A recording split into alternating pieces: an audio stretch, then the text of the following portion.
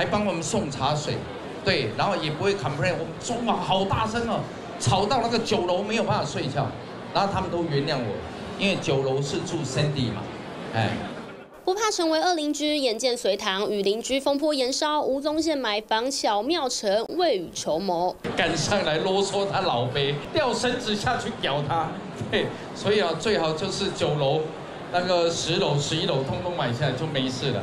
啊，那个这个大家互相包容一下啊。台北呢，这个人情味，比如说你家有违建，对不对？一定是隔壁去举发的嘛，啊，到最后就没有没有朋友。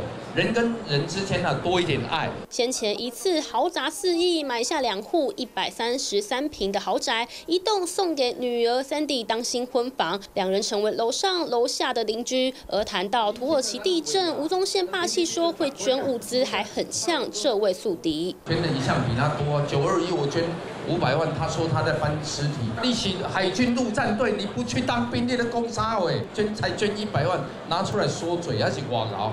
他也不过赔我八十几万嘛，对不对？对呀。话说得很酸，但吴宗宪的大方有目共睹。购物专家陈真上通告透露，吴宗宪开工红包的金额是别人的二十倍。那个是一点点，对。人家十倍到二十倍。十倍到二十倍，那一定要的啊。对呀，在那个野火金星的那个尾牙，捐钱捐到眼泪都快流出来。这回替投资品牌开设的茶饮店加盟站台，积极投资副业。吴宗宪也强调，三到六月会进军大陆，但没有要离开台湾，依旧热爱所有工作。TVBS 新闻张志明洪一婷台报道。掌握全球情势，国际新闻全新选择 YT 频道 TVBS 国际 Plus，扩大视野。欢迎订阅并开启小铃铛。